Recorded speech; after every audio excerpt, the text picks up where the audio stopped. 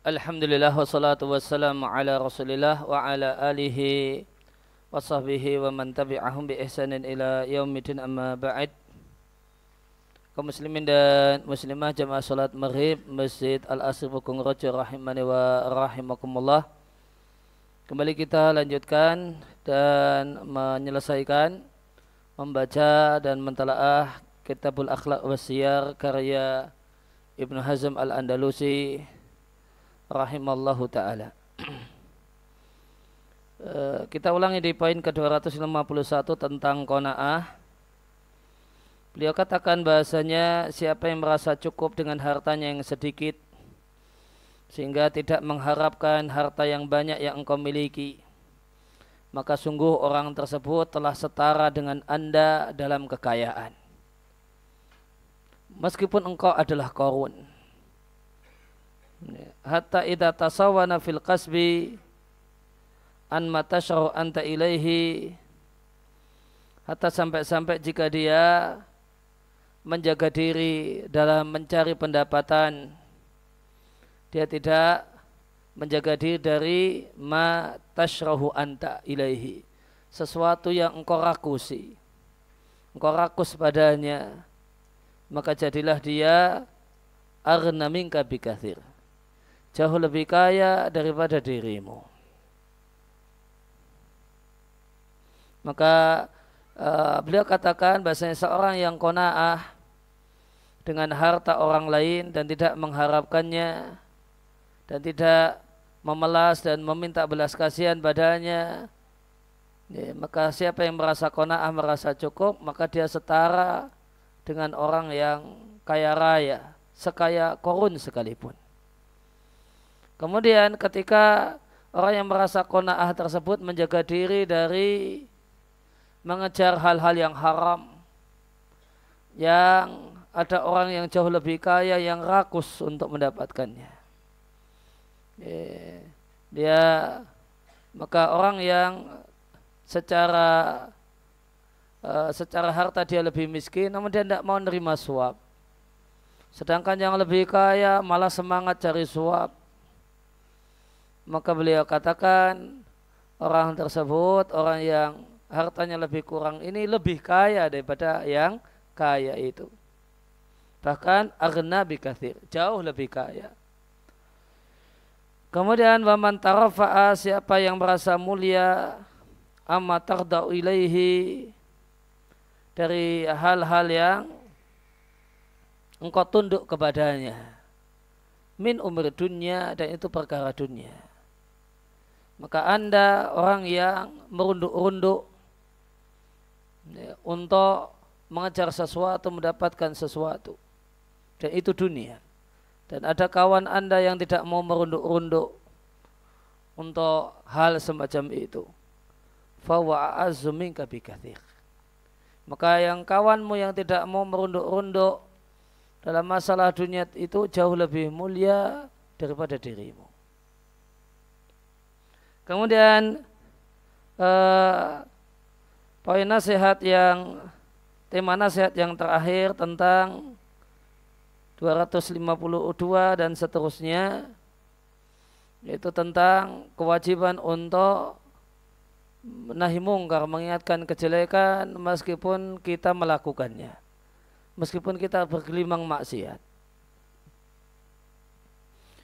Maka dalam hal ini tentu ada dua kewajiban. Kewajiban untuk mengingatkan dan menasihati dan kewajiban untuk melaksanakan kebaikan dan menghiasi diri sendiri dengan kebaikan.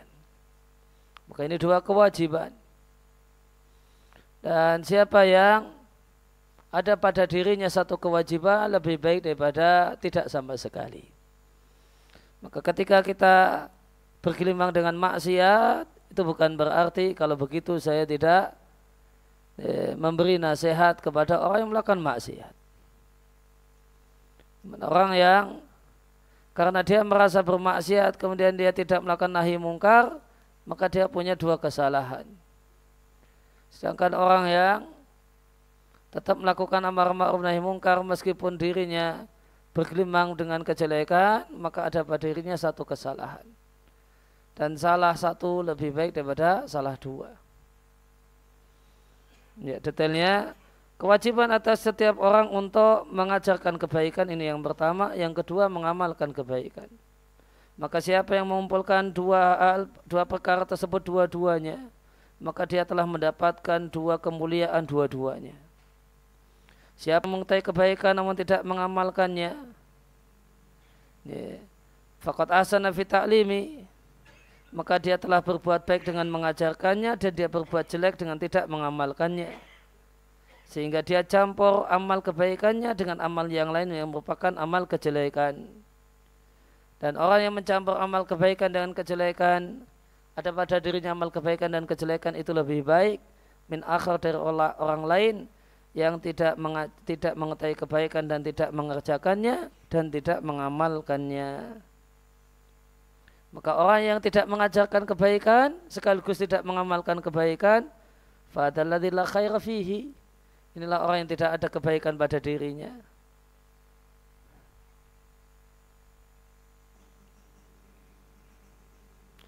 Amsalu halatan orang yang namun orang ini masih lebih bagus keadaannya. Wa akalu dan lebih jelek, lebih rendah celaannya. Orang yang tidak mengajarkan kebaikan, tidak pula mengamalkannya. Ini masih mendingan. Dibandingkan siapa? Min akhir dari orang ketiga. Siapa itu? Orang yang melarang untuk mengajarkan kebaikan wa anhu dan menghalang-halangi orang untuk belajar kebaikan. Maka beliau sampaikan tiga level manusia atau empat level manusia. Ya, orang yang mengajarkan kebaikan dan mengamalkannya.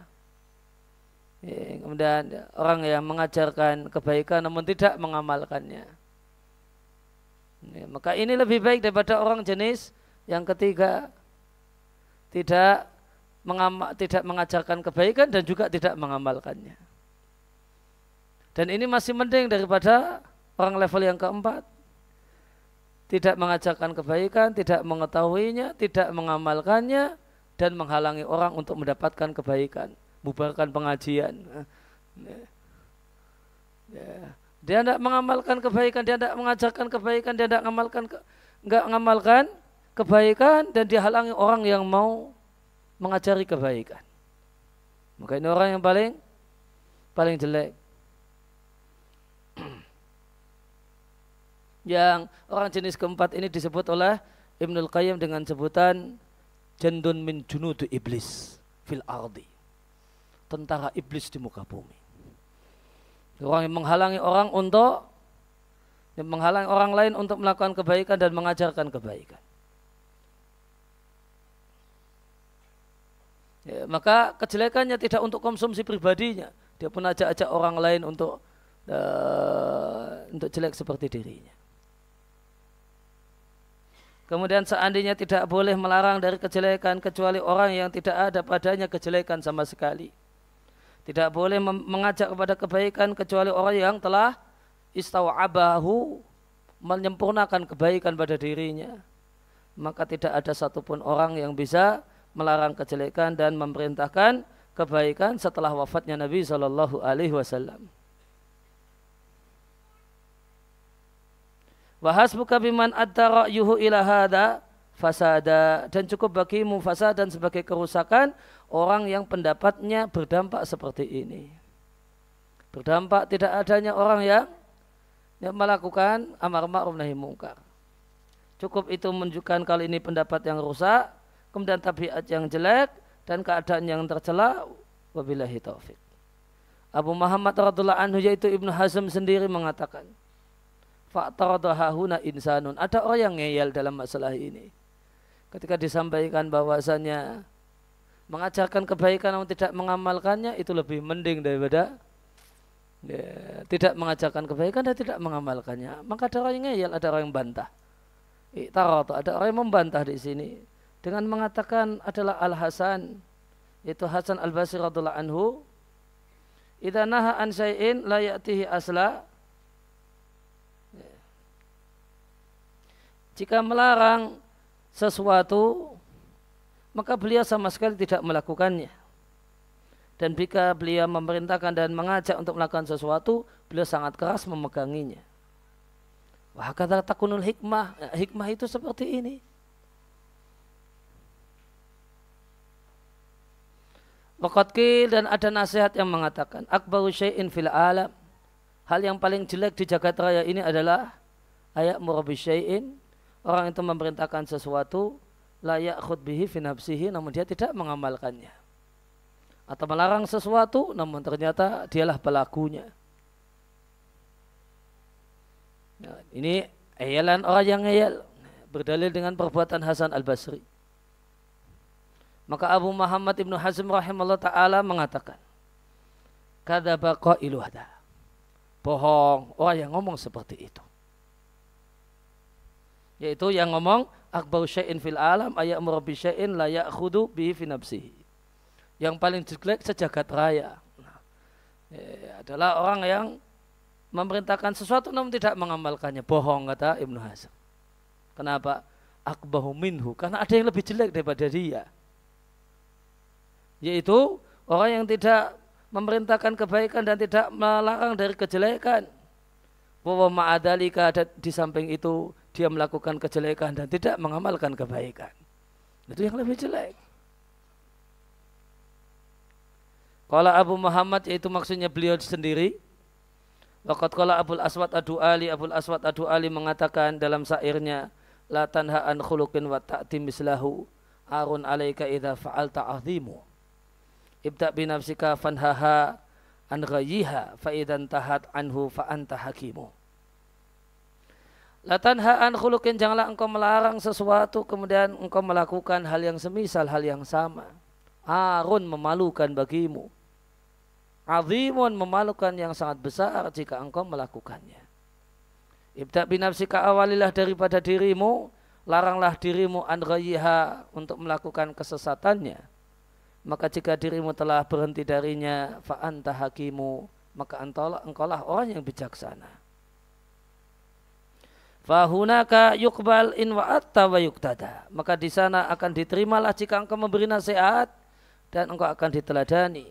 Bil ilmi minka dengan ilmu darimu. Wayan fa'u at-ta'limu dan pengajaran itu memberi manfaat. Maka kata Abu Muhammad Ibnu Hazm rahimallahu taala, Ingkana Abul Aswad maka jika Abul Aswad inna maqasada hanyalah dia maksudkan mencela maji'a bimanaha anhu almaru melakukan apa yang dilarang oleh seseorang wa ana yatada'afu dan sesungguhnya berlipat-lipat kejelekannya ini kejelekannya itu berlipat-lipat ma'anahi anhu ketika dia melarangnya. Padahal dia pelakunya. Maka jika demikian maksud Abul Aswad adu ali faqat ahsana. Maka benar apa yang dia katakan. Sebagaimana dalilnya karena menimbang firman Allah Ta'ala. Atak merunan nasa bil biri wa tansawna angfusakum. Nah, apakah kalian mengajak orang lain untuk melakukan kebaikan dan kalian lupa dengan diri kalian sendiri? dan tidaklah kita sangka terhadap Abul Aswad Adu Ali ilahada kecuali makna di atas. Amma ayakuna naha anin nahyi. Adapun jika maknanya adalah beliau melarang melarang orang untuk melarang perbuatan yang jelek melarang untuk melarang orang yang melarang orang eh, melarang orang lain untuk melakukan kejelekan pada dia pelakunya maka kami memohonkan perlindungan kepada Allah dari pendapat semacam ini. Fahuwa fi'lu la khaira fihi. Karena itu kelakuan orang yang tidak ada kebaikan padanya. Tidak mau, tidak melakukan kebaikan, ya, ya, ya, melakukan kejelekan, namun tidak mau mengingatkan orang untuk melakukan kejelekan padahal dia pelakunya. Kemudian setelah itu dia larang-larang orang untuk mengingatkan orang lain dari kejelekan. Waqat saha anil Hasan terdapat riwayat yang sahih dari Al Hasan Al Basri. Ana usami insanan beliau melihat mendengar seorang mengatakan la yajibu ayanha anis syari ila man la yaf'aluhu.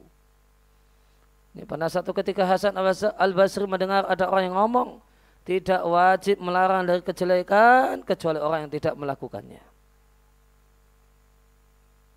Maka komentar Hasan al-Basri, wadda iblisu au minna bihada.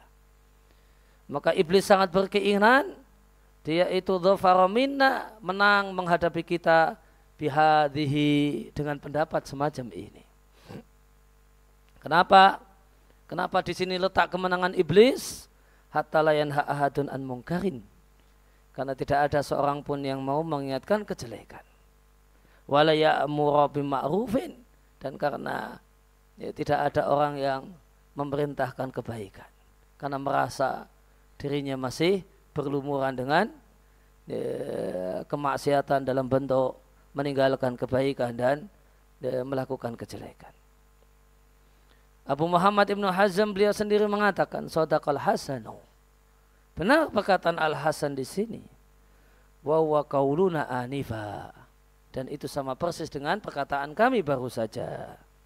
Semoga Allah Subhanahu wa taala menjadikan kita di antara orang yang mendapatkan taufik untuk melakukan kebaikan, mengamalkan kebaikan, wa mimman yubasiru rusdahu rusda nafsihi dan di antara orang yang bisa melihat di manakah letak kebaikan pada dirinya, letak kemuliaan pada dirinya. Fama ahadun illalahu uyubun. Tidak ada orang kecuali punya kejelekan dan aib. Ida nadharaha an ghairihi. Dan jika seorang itu mengetahui kejelekannya, saghalathu maka aibnya yang demikian banyak kejelekan yang demikian banyak itu membuat dia sibuk. An sehingga tidak ngurusi kejelekan orang lain. Wa tafada ala sunnati Muhammadin sallallahu alaihi wasallam. Amin amin. Rabbal alamin. Semoga Allah Subhanahu wa taala mewafatkan kita di atas ajaran Muhammad sallallahu alaihi wasallam. Ya Allah kabulkanlah ya Allah kabulkanlah wahai Rabb semesta alam tamma kitabul akhlaqi wasiyar walhamdulillahi rabbil alamin. Selesai sudah kita membaca dan mentelaah buku Kitabul Akhlaq Wasiyar karya Ibnu Hazm Abu Muhammad Ibnu Hazm Al-Andalusi Al-Zahiri rahimallahu rahmatan wasi'ah. Allahumma alimna ma yanfa'una wa anfa'na bima 'allamtana wa zidna ilman nafi'ah.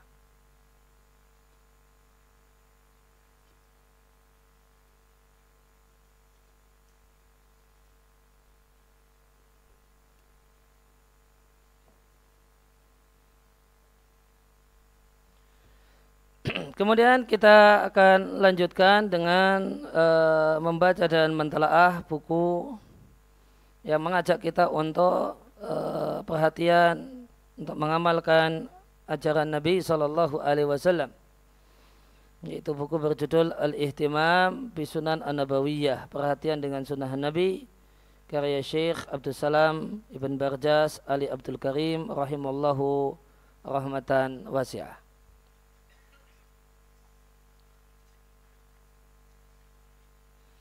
Baina yaday risalah. Ini pembukaan sebelum masuk pada risalah isi buku. Innal hamdalillah nahmadu wa nasta'inu wa nastaghfiruh wa na'udzu billahi min shururi anfusina wa sayyiati a'malina. Man yahdihillahu fala wa may yudlil fala. Wa asyhadu an la ilaha illallah wahdahu la syarikalah wa asyhadu anna Muhammadan abduhu rasuluh. Sallallahu alaihi wasallam. Ya ayyuhalladzina amanu taqullaha haqqa tuqatih wa la tamutunna illa wa antum muslimun. Ya ayyuhan nasu taqu rabbakum alladzi khalaqakum min nafsin wahidah wa khalaqa minha zawjaha wa batha minhuma rijalan katsira wa nisaa. Wattaqullaha allati tasaaluna bihi wal arham innallaha kana 'alaikum raqiba. Ya ayyuhalladzina amanu taqullaha wa qulu qawlan sadida yuslih lakum a'malakum wa yaghfir lakum dhunubakum wa man yuti'illaha wa rasulahu faqad faza fawzan 'azima. Amma ba'd fala yaghfa ala muslimin. La yaghfa artinya di, telah diketahui, telah dimaklumi oleh setiap muslim. Apa yang menjalar saat ini di muka bumi yaitu ma yu'ayisuhu al-muslimun, kondisi yang dialami oleh kaum muslimin berupa kelemahan yang itu demikian merasuk dalam semua aspek kehidupan kaum muslimin. Dari aspek politik, aspek ekonomi dan yang lainnya. Walau ketanabaha dan sungguh telah sadarlah orang-orang yang berupaya untuk melakukan perbaikan. Mungdu amadin sejak waktu yang lama. Telah uh, perhatian ilaha ada da'fi. Adanya kelemahan ini maka mereka melakukan upaya untuk taskhis, untuk melakukan diagnosis. Watahdid setelah itu menentukan penyakitnya. Pemintama kemudian dari sana uh, ala ilajihi menentukan terapinya wal istisal. Istisal itu mencabut sampai ke akar-akarnya. Menghilangkannya, menghilangkan penyakit tersebut sampai akar-akarnya. Ila anas subula akan tapi jalan tafaraqat bihim. Jalan para para orang-orang yang menginginkan perbaikan kaum muslimin itu ternyata berbeda-beda. Dalam wasfil ilaj dalam meresepkan obat. Wasaf kalau di bab obat artinya ngasih resep kertas resep dokter itu bahasa Arabnya wasfun tibiyun. Ya, maka mereka berbeda-beda berbeda pendapat dalam memberikan resep pengobatan dan mencabut kiat untuk mencabut penyakit. Kenapa kok beda-beda? Dalam masalah ini obat apa yang diperlukan oleh umat ini? Ya, tabaan derivat dari perbedaan cara pandang mereka. Ya, perbedaan manhaj itu perbedaan ya, cara pandang. Wa ta'aduti firaqihim ditambah beragamnya berbilangnya ya, aliran-aliran mereka. Wa ma min raibin dan tidaklah diragukan bahasanya apa yang menimpa kaum muslimin adalah disebabkan karena kaum muslimin jauh dari agamanya, tidak mengenal agamanya. Dan karena mereka tenggelam dalam syahwat yaitu keinginan-keinginan yang haram, yaitu berbagai macam maksiat. Wabima anal amra dan mengingat bahasanya realitanya demikian. Wawa kadalik dan memang demikian. Maka sungguh Rasul kita Sallallahu Alaihi Wasallam telah menjelaskan kepada kita obat ini. Dan Nabi telah meresepkan, wa sofalana telah meresepkan untuk kita obatnya bima dengan resep yang tidak meninggalkan majalan ruang bagi orang-orang yang berakal tidak ada ruang untuk berselisih dan sengketa tentang apa resep mujarab untuk memperbaiki keadaan umat. Berdasarkan hadis yang diatkan oleh Abu Daud dalam sunannya dan yang lainnya dari Ibnu Umar, beliau mengatakan aku mendengar Rasulullah Sallallahu Alaihi Wasallam bersabda, "Ida tabayatum bil inah." Jika kalian melakukan jual beli bentuknya inah yang hakikatnya adalah akal-akalan untuk melegalkan riba. Artinya kalian sibuk dengan riba. Wa'aratum adnabal bakar dan kalian pegangi ekor-ekor ya, sapi karena sibuk cari duit. Wa'aratum waraditum bizara kalian merasa puas sibuk dengan pertanian. Sibuk dengan dunia. Watartumul jihad dan kalian tinggalkan jihad di jalan Allah, maka Allah akan timpakan kepada kalian dulan kehinaan. Yang kehinaan tersebut Allah tidak akan cabut sampai kalian kembali kepada agama kalian. Maka sebabnya adalah karena ya, syariat ditinggalkan dan sibuk dengan ya, orang sibuk dengan ngurusi dunianya dan meninggalkan syariat Rabbul Alamin. Itulah sebab kehinaan. Kemudian Nabi beri resep ya, resepnya adalah kembali kepada agama. Fal al wahid maka solusi satu-satunya. Kalau wahidun wawunya panjang itu satu. Ya, lawannya dua. Tapi kalau haknya yang panjang wahid artinya satu-satunya tidak ada yang lainnya.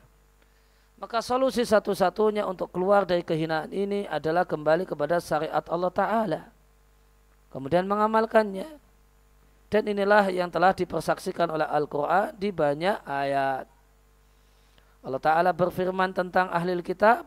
Seandainya para ahli kitab itu beriman dan bertakwa, niscaya kami akan hapus ya, dari mereka sayyatihim kejelekan yaitu dosa kecil mereka. Dan sungguh akan kami masukkan mereka dalam surga penuh kenikmatan. Seandainya mereka menegakkan Taurat dan Injil dan apa yang turun pada mereka dari mereka, niscaya mereka akan bisa makan dari arah atas, dari arah bawah, yaitu bawah kaki mereka. namun di antara mereka terdapat umat yang pertengahan dan banyak dari mereka betapa jelek apa yang mereka lakukan. Meskipun telah gamblang perkara ini, wajalah dan telah jelas. Namun sejumlah orang yang menisbatkan dirinya sebagai da'i. Darabu sofhan. Masa bodoh. Aniruduh untuk tunduk terhadap perkara yang gamblang ini. Mereka lebih senang e, melakukan apa yang didiktikan oleh akal mereka yang cupet dan pendapat-pendapat mereka yang tidak laku. Fabatahu maka mereka mencari upaya untuk memperbaiki keadaan kaum muslimin dengan sesuatu yang tidak Allah syariatkan dan tidak pula disyariatkan oleh Rasulnya. Maka dampaknya adalah rugi. Kemudian akhir dari langkah mereka adalah bencana. Dan Allah tidak akan memperbaiki amal orang-orang yang merusak. Wa kana min baini ma iktarafatu aidihim. Maka di antara apa yang dilakukan oleh tangan-tangan mereka tilkal hamlah. Hamlah artinya serangan. Tilkal hamlah serangan yang asya'wa sya'wa artinya ya, yang keras dari segala sisi. Serangan yang keras terhadap bendera sunnah yang suci dan ajaran Nabi. Karena mereka jadikan perhatian dengan ajaran Nabi, antusias untuk menerapkannya, dan setiap keadaan kita, mereka katakan itu adalah salah satu penghalang untuk memperbaiki jalan kaum muslimin. Wa insyial intisyal dan mencabut dan menyelamatkan kaum muslimin anil auhal dari lumpur kelemahan. Fajaat kutubuhum datanglah buku-buku mereka, ceramah-ceramah mereka, dan pengajian-pengajian mereka menegaskan pemikiran ini. Pemikiran yang aneh ini. Terkadang mereka sampaikan dengan belak-belakan, terkadang ukho, terkadang yang lain, bitalwih. Mereka sampaikan dengan bahasa kiasan. Wa thalithatal asafi dan yang ketiga yang sudah tidak ada lagi yang keempat adalah mereka melakukan serangan terhadap ajaran Nabi, sunnah Nabi dengan kedok cemburu terhadap sunnah dan menjaga efisiensi waktu kaum muslimin. Ya, asafi, asafi itu adalah uh, ya, uh, tiga batu yang dipasang oleh musafir ketika mereka mau masak, bikin perapian, mau masak, maka ada tiga batu ditumpuk, diposisikan, kemudian nanti dibuatlah perapian kayu bakar, kemudian mereka masak apa yang mereka inginkan.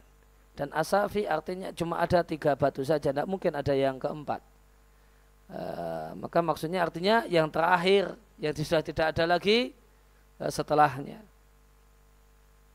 Fatauran maka terkadang mereka mencela keras orang yang mengamalkan ajaran Nabi dan menjaganya dengan alasan bahasanya mengamalkan ajaran Nabi memecah belah persatuan kaum muslimin. Bifilihat dengan melakukan apa yang Nabi tuntunkan. Wataurat dan terkadang yang lain mereka berlebihan e, tentang pentingnya mengetahui realita atas semua kaum muslimin yang bermasalah atas semua kaum muslimin. Ini, pentingnya mengetahui realita, kemudian memikirkan bagaimanakah solusinya itu cukup sebagian kaum muslimin. Yang para cendikiawan dan para ahli yang uh, kemudian merumuskan strategi penting untuk kemajuan umat. Bukan uh, konsumsi semua kaum muslimin hatta yusrafu annasu sehingga manusia dibelokkan dari ilmu syar'i dan perhatian dengan sunnah Nabi untuk senantiasa mengikuti perkembangan berita di koran dan di majalah dan berita-berita politik. Fayusbih jadilah orang yang terpuji adalah orang yang tenggelam dalam hal-hal ini dan orang yang tercela adalah orang yang perhatian terhadap fikih mengenal agama Allah menekuni uh, ala sunan ya, sunnah Nabi ta'aluman wa amala dengan mempelajarinya dan mengamalkannya. Falamma kharajat hadhihi zawabi'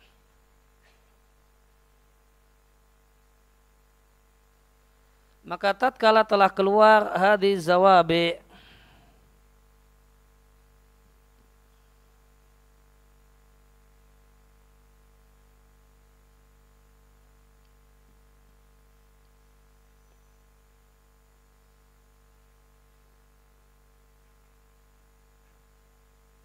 masaib wadawahi. Maka setelah keluar bencana ini fi wajhi sunnah di hadapan sunnah Nabi watakhala dan kosong untuk menegaskan palsunya hal ini tidak dilakukan oleh banyak dari orang-orang yang kami sangka Arya Roman Nara ala sunnah orang yang paling cemburu yang kami lihat terhadap sunnah Nabi maka aku mohon tolong, pertolongan kepada Allah, maka aku tulis buku ini, berharap kepada Allah Ta'ala agar Allah jadikan buku ini adalah buku yang ditulis dengan penuh keikhlasan dan meluas manfaatnya kepada semua pihak. Ringkasan apa yang aku ingin sampaikan kepada para pembaca yang mulia di buku ini adalah at-tanbih, mengingatkan tentang betapa vitalnya perhatian dengan hadis yang valid dari Rasulullah sallallahu alaihi wasallam dalam bentuk mempelajarinya, mengamalkannya, kemudian irsyadan uh, uh, mempelajarinya, wa dan mengajarkannya, kemudian menjadikannya sebagai materi bimbingan dan arahan, wa amalan dan mengamalkannya. Uh, makman, makman itu tersembunyi. Wa anal makmana ad-da'fi ingdana. Yeah kelemahan yang tersembunyi pada diri kita. Inama ja'a hanyalah datang min jara'i dikarenakan jauh dari Allah Ta'ala. Jauh dari melakukan amal-amal yang wajib dan yang sunnah. Oleh karena itu maka cara yang benar untuk menghilangkan kelemahan ini yang hasil terbatas pada satu hal yaitu kembali kepada agama kita dan antusias untuk mengamalkannya kemudian mendakwahkannya seluruhnya. Sebagaimana firman Allah Ta'ala, wahai orang-orang yang beriman, masuklah kalian ke dalam Islam kafatan secara totalitas. Walaysa min tariqin ila maka tidak ada jalan untuk terwujudnya hal tersebut selain jalan ini. Itu kembali kepada agama, kemudian antusias mengamalkannya dan mendakwahkannya. Fabihi dengan jalan ini maka akan tumbuh besarlah generasi di atas, di atas sunnah dan ditanamkan dalam hatinya kecintaan terhadap agama. Wa mahabatan tat'ufu serasa cinta yang menyebabkan tat'ufu lemahnya cinta pada diri, cinta pada harta, cinta pada anak. Wa ingda dan pada saat itu siaplah jiwa untuk menerima segala kebaikan dan akan dermawan dan rela merelakan semua yang dimiliki untuk menolong agama ini. Dan sungguh telah aku jelaskan beberapa faedah, baik faedah yang bersifat universal ataupun e, bersifat khusus yang menjadi dampak dari mengamalkan ajaran Nabi dan sunnah Nabi. Liyakuna dalika supaya penjelasan tersebut membuat orang e, penasaran untuk mengamalkannya Hasan memotivasi untuk perhatian menerapkannya. Sebagaimana aku bawakan beberapa subhat yang diucapkan oleh orang-orang yang tidak memiliki bagian dari ilmu. Tazhidan fisunnah dalam rangka membuat orang zuhud. Ya, membuat orang menggembosi orang untuk mengamalkan ajaran Nabi. Wataklilan dan ya, menganggap sedikit urgensinya Warodat tuha kubawakan kemudian kubantah muraian ikhtisar namun dengan e, mempertimbangkan bagaimanakah seringkas mungkin. Hada demikian wal yu'lam dalah diketahui bahasanya aku dalam buku ini la akul tidaklah aku uh, tidaklah aku katakan bahasa yang dimaksud dengan sunnah di sini yang merupakan kebalikan fardu wajib diamalkan. Karena tidak ada satupun kaum muslimin yang mengamalkannya, yang mengatakannya. Cuma inama uakidu aku tegaskan di sini urgensi pengagungan sunnah di dalam hati karena pengagungan sunnah itu fardun ala kulli muslimin. Kewajiban setiap muslim. Maka tentu ada sunnah dalam pengertian kebalikan yang wajib. Maka sunnah dalam pengertian hal yang dianjurkan dan tidak wajib beliau katakan mengamalkannya tidak wajib. Tapi punya penghormatan terhadapnya kewajiban setiap muslim. Perhatikan dua hal ini. Pengagungan terhadap ajaran Nabi meskipun itu hukumnya sunnah. Pengagungan terhadap ajaran Nabi meskipun itu hukumnya sunnah, kewajiban setiap muslim. Mengamalkannya tidak harus. Orang wajib menghormati sholat qobliyah, sholat ba'diyah, wajib. Tidak boleh meremehkannya dan merendahkannya. Mengamalkannya, ya tidak wajib. Ayo diamalkan supaya kita uh, memperbanyak pahala dan bekal menghadap Allah. Tidak tercela orang yang tidak mengamalkannya. Sebagaimana saya motivasi untuk uh, komitmen dengan ajaran Nabi ini dalam realita amal wa anna dzalika ziyadatu khairin mengamalkan ajaran Nabi yang hukumnya sunnah itu menambah kebaikan dan memanfaatkan ganjaran wa fi dzalika falyatanafasil mutanafisun maka dalam hal ini hendaklah berlomba orang-orang yang berlomba Muqaddimah kita Alhamdulillah di amarana bidkhuli fi dinihi kafatan. Segala puji milik Allah yang memerintahkan kita untuk masuk ke dalam agamanya secara total. Ya, yaitu wajibnya dan sunnahnya. Sebagaimana firman Allah Ta'ala, Ya ayyaladzina amanu. Orang-orang yang beriman masuklah kalian dalam Islam kafatan secara total. Dan salat dan salam al-atamani al-akmalani yang sempurna dan lengkap untuk orang yang diutus kepada kita supaya menjadi teladan yang baik bagi kita dalam setiap perilakunya. Teladan yang baik dalam berdirinya dan duduknya, gerak dan diamnya. Yang beliau mengatakan adalah kalian memegangi ajaranku dan ajaran para sahabat. Para sahabatku khulafa'ur rasyidin al-mahdiyin. Gigitlah ajaranku dengan gigi geraham pujian Allah untuknya dan keluarganya, manusia-manusia yang baik dan suci.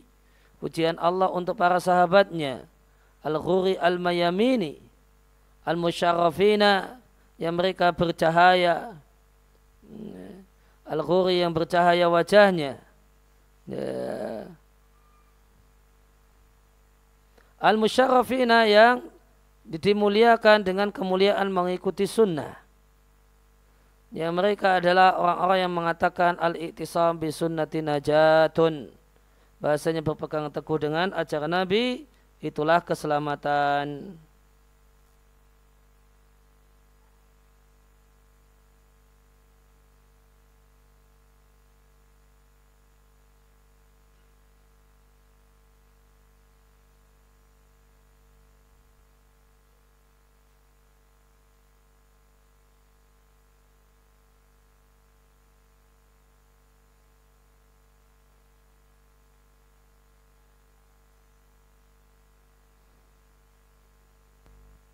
Yamin bisa artinya penuh barokah. Radiyallahu anhu semoga Allah meridai mereka dan orang-orang yang mengikuti mereka dengan baik. Orang yang mengikuti jejak mereka sampai datangnya hari pembalasan. Amma ba'd fa inna ahaqama perkara yang paling berhak untuk diperhatikan oleh seorang muslim. Perkara yang paling utama yang dipakai untuk menghabiskan waktunya seorang muslim adalah amal penuh dengan kesabaran. Adaub, amal yang ulat penuh dengan kesabaran untuk mengikuti jejak Nabi Shallallahu Alaihi Wasallam dan menjadikan ajaran Nabi itu satu hal yang membumi, satu hal yang jadi raga dalam kehidupan keseharian semaksimal yang bisa dilakukan. Hal eh, dalika hal tersebut karena tujuan seorang muslim adalah mendapatkan hidayah yang mengantarkan kepada tempat penuh kebahagiaan yaitu surga. Dan Allah Subhanahu wa taala mengatakan, wa in tahtadu. Jika kalian mentaatinya sang nabi, maka kalian akan mendapatkan hidayah. Maka jalan hidayah, kiat untuk mendapatkan hidayah adalah taat dengan sang nabi. Dan Allah Ta'ala mengatakan wattabi'uh. Ikutilah dia supaya kalian mendapatkan petunjuk. Dan Allah Ta'ala mengatakan sungguh ada bagi kalian pada diri Rasulullah sallallahu alaihi wasallam uswatun hasanah teladan yang baik. Bagi siapa saja yang berharap uh, berjumpa dengan Allah dan hari akhir dan banyak mengingat Allah Subhanahu wa taala.